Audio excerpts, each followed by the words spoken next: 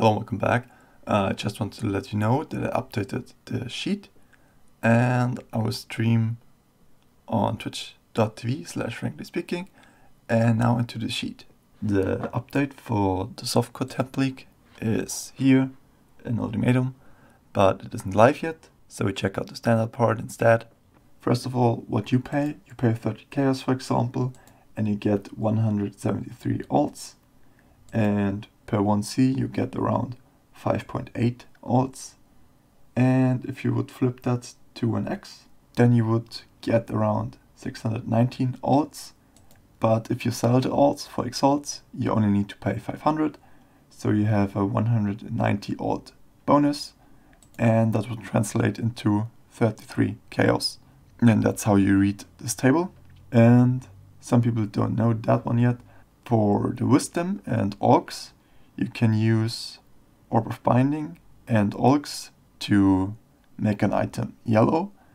And you can sell Portal Scrolls, Armor Scraps, Blacksmith, and Transmutes for Scrolls of Wisdom. And they removed the vendor recipe for Perandus coins, so you can't vendor them for Wisdoms anymore. So I had to remove that. And once the Ultimatum and Hardcore Ultimatum League is online, then you can see them here, the exchange rates. And if you want to know how to set up your shop, I have an old video and I will share it in the description. And here you have the video. I'm checking out the spreadsheet in the back. This one is a different one that you personally use.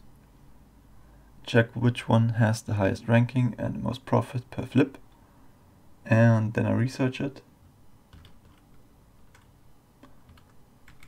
Then I set up all of the prices in my premium stash tab or I could use PoE trade and set up a shop there. Then I check on PoE trade for different exchange rates and if they are legit. Then I check on the official trade site. Set up a new price for my rogue markers in this case.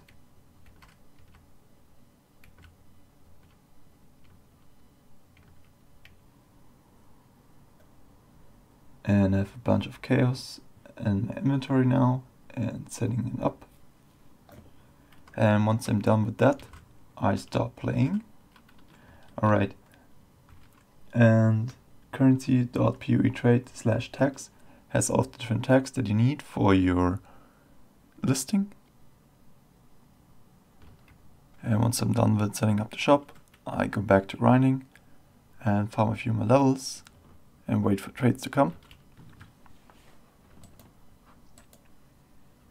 Thanks a lot for the support on YouTube and Twitch.